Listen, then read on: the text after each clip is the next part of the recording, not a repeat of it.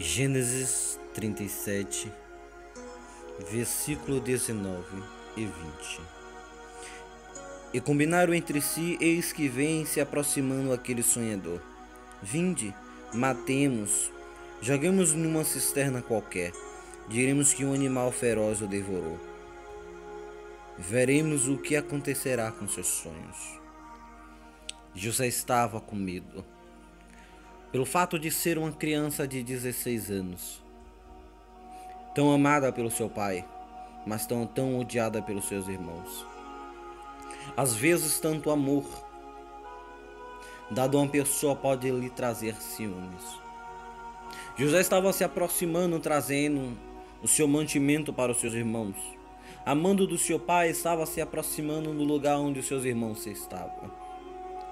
Mas José pelo fato de ter sonhos revelados da parte de Deus e contado aos seus irmãos, a sua família, trouxe grande inveja.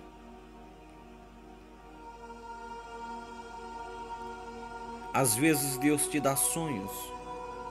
Às vezes Deus ele te abençoa de uma maneira tremenda.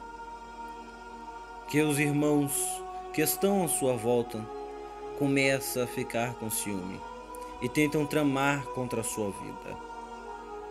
Te jogam em uma cisterna, te isolam, te colocam no canto da igreja. Passa por ti e não dar a paz, vira as costas, te olha para cima e para baixo, te priva de dar a oportunidade de dentro das igrejas.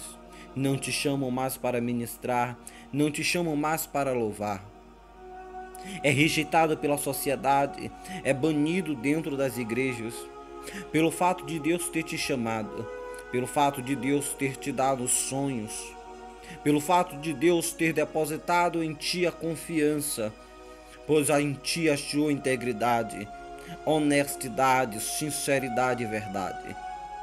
Atributos de Deus para com o homem que traz inveja para as pessoas que não se encontram na posição e na vontade de Deus. Mas eu tenho uma palavra para você nesta tarde.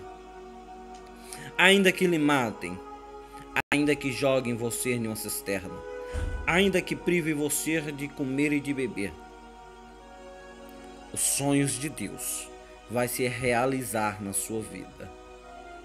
Porque Deus te chamou, Ele te sustenta, Ele te garante ele é teu braço forte. No tempo de angústia, ele te esconde no abrigo, no lugar secreto do Altíssimo. Creia, porque Deus te amou e ele vai cumprir a obra que ele tem na sua vida. Queira se levantar quem queira. Podem dizer o que quiser, pensar o que quiser a seu respeito mas Deus está dizendo: os seus pensamentos não são os meus pensamentos. Os pensamentos que eu tenho de ti são pensamentos de paz.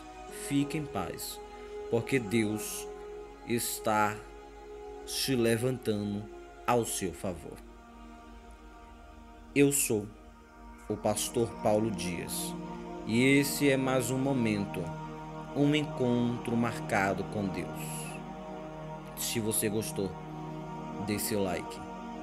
Se ainda não é inscrito, se inscreva. Compartilhe a palavra do Senhor. Faça com que essa mensagem chegue a todas as pessoas que precisam ouvir a voz de Deus. Deus vos abençoe. Em nome de Jesus Cristo. Amém e graças